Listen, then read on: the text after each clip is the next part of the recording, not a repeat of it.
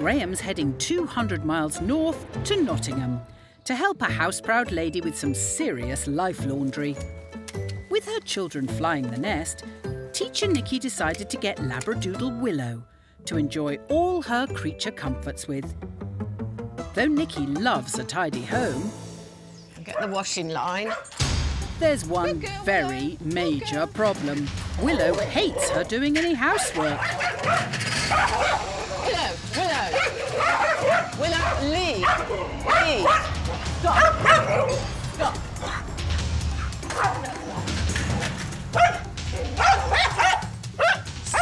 Stop. Oh, this is ridiculous for hanging out the washing, and I can't leave it out even to dry. The minute you touch these things, then she will chase at it, bark frantically, no. And just try and bite it. No. Willow, Willow, no. No.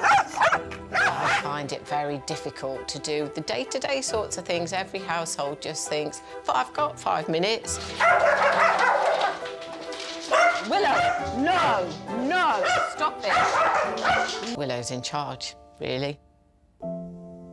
With seven-year-old Willow's very bad behaviour only getting worse, it's impossible for Nikki to lead a normal life.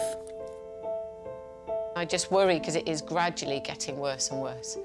And I think, well, I've got already a complex list of things that she has a problem with. Um, uh, what next? So Labradoodle is a cross between a Labrador and a Poodle. So both working dogs, um, often used on hunts. So their job is to sort of spot a bird falling from the sky, perhaps, and, and go and pick it up. They're looking out for movement all the time. So I, I don't know if there's a clue there in what Willow's doing. Willow, stay. Hello, hi, hi, how are you? in, Thank you come very in. much. You come this way. Willow, Willow, stay. You're nice. Yeah. Hmm. There's another side to Willow. What sort of things is she bad with then?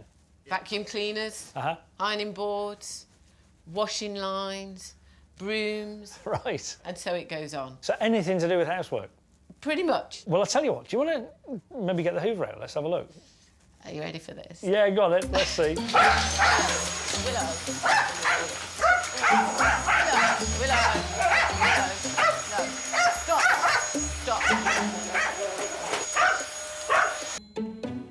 I've seen dogs going for hoovers before, but that was really bad. I mean, she literally ripped bits off it. So there's a big question in my mind about what's going on in Willow's head. You know, what, what, what's, what, what's she thinking?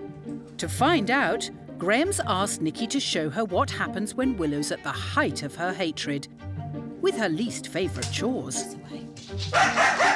Willow. Willow.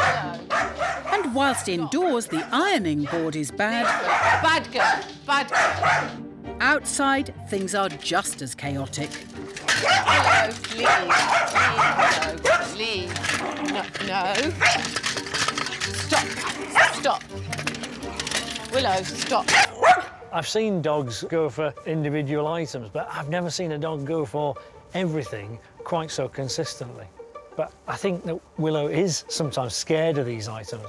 Um, moving things erratically, particularly, just triggers that instinct.